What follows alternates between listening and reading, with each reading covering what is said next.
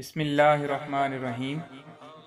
मुझे उस शख्स पर ताज्जुब होता है, जो रोज़ देखता है उसकी सांस और उम्र कम हो रही है और वो मौत के लिए तैयारी नहीं करता।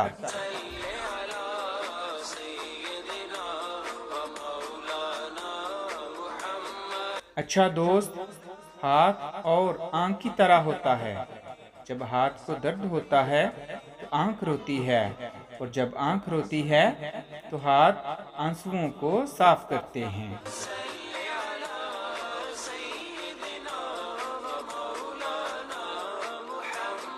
दो चीज़ों के सवाब को तोला नहीं जा सकता। एक माफ़ कर देना